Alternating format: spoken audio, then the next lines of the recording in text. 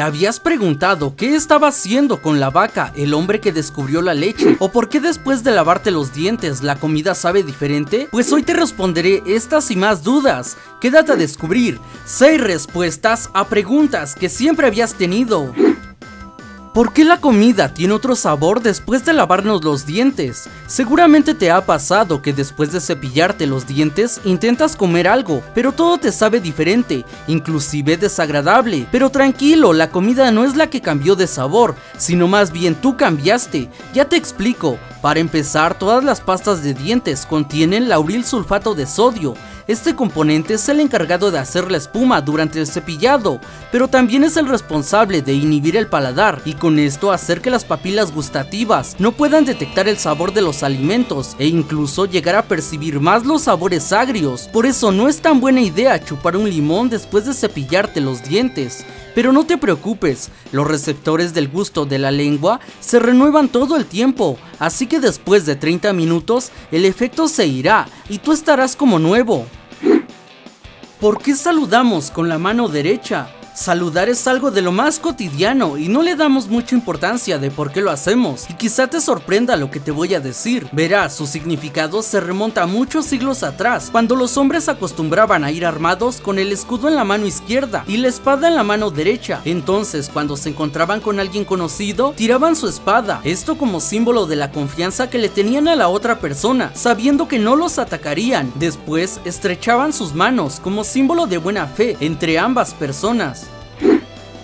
¿Por qué decimos whisky antes de tomarnos una foto?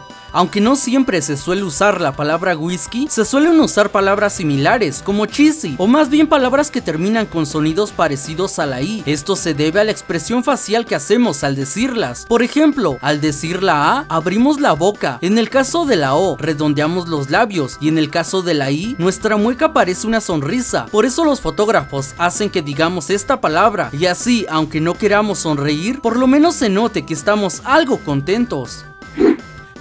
¿Por qué no salen canas? Por increíble que te parezca, el color original de nuestro cabello es blanco y el color rojo, negro, rubio o castaño que vemos en él es ocasionado por la melanina, como un método de defensa contra los daños que le puede ocasionar el exterior, pero a medida que vamos creciendo, varios compuestos de nuestro cuerpo dejan de producirse y la melanina es uno de ellos, por esto el cabello regresa a su color original, incluso algunos científicos han demostrado que el tabaco puede ocasionar el envejecimiento prematuro y con esto que la melanina del cabello se acabe y regrese a su color original.